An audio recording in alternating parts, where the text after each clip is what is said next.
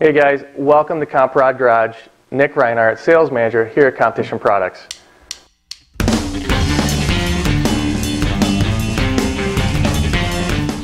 Welcome back to another edition of Comprod Garage.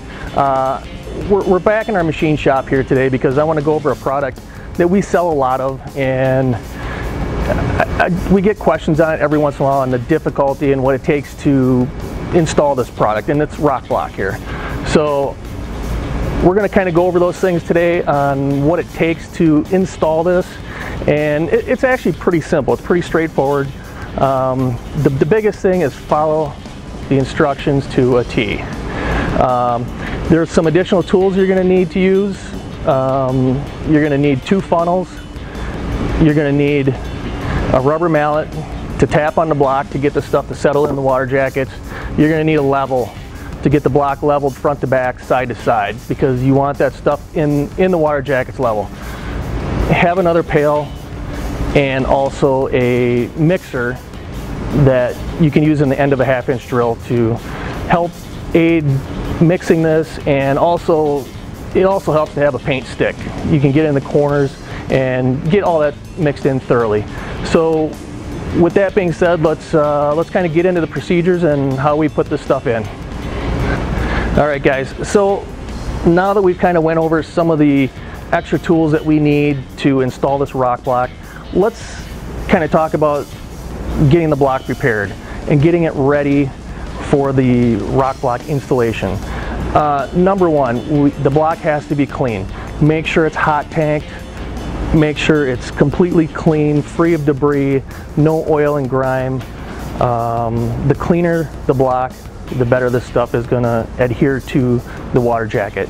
So once that's all kind of done and you're ready there, make sure the freeze plugs are in the block. Make sure the drain plugs are in the side of the block because depending on how much Rokblock you want to put in your particular block, depending on your application, uh, some guys put in a half fill and some guys go right to the top of the water pump hole.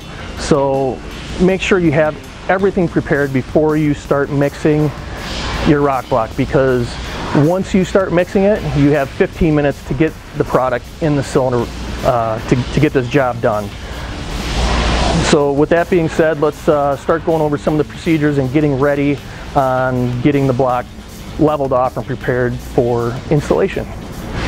All right guys, so now that we have kind of went over the initial tools that we're gonna need and the cleanliness of the block and whatnot, let's kind of get into the initial setup and the procedures to get this Rokblock installed uh, before you get the product mixed in. So uh, the first thing is we want to get the block leveled. Okay, so we need to get leveled front to back.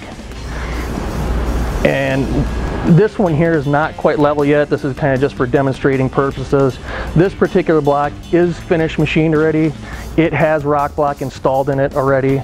So if you got to do any other machining processes, make sure you put the Rokblock in first before you bore and hone it because it will change the shape of the cylinders. Um, so once you get all that kind of finished up, you want to get the block leveled. So this one needs about a quarter inch shim underneath it to get it leveled in the front. And once you get that kind of established, you can use plate steel under the wheels of your engine stand or whatever you got to use in your shop area. So once we get that kind of done, we're going to take the level and we're going to kind of level the block this way. So, and it's important to get the block level because if you don't, it's not going to flow in your water jacket evenly. So, and we, and we want it as, as flat as possible. So once we get that kind of done, we're gonna get your funnels out. And like I said, get all this prepared before you mix because once you put water in it, you literally have 15 minutes to get this product in. So, uh, so now that you got your, your funnels in, the blocks leveled, um, you're, you're basically kind of ready to start with the mixing process. Now, the pail comes in 25 pound package, so you're gonna need to divide this in half. So you're gonna need another pail to divide that out. Get, get another pail, divide out half into the other pail, and then you can start with the mixing procedure in your original pail. Follow the instructions to a T. Make sure, another tip, use cold water. Do not use hot water. If you use hot water, it will set up in the pail. So once we get cold water in here and kind of get it all mixed up, we're gonna start with the installation procedure. Make sure once you start mixing, turn your phones off, don't get distracted, don't take texts, don't do any of that stuff. You got 15 minutes to get this stuff in. So once we start with that and you get it all mixed, we're gonna start pouring it in. It's easier to use two people. This is kind of a two-person job. You can do it with one, it's easier with two. So, you know, once you start pouring, you're gonna wanna use two funnels to kind of work the product back and forth and get it kind of in the, in the water jackets.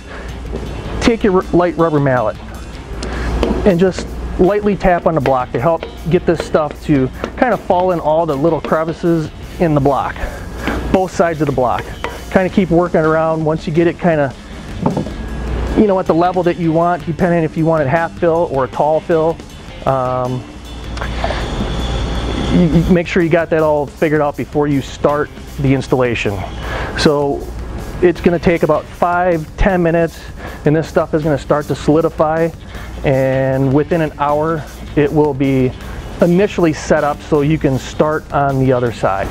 So if you guys have uh, any more questions that I didn't cover today on installing this product or about this product, be sure to call our tech line. Our guys on the tech line will be more than happy to help you. Uh, you can call them at 800-233-0199.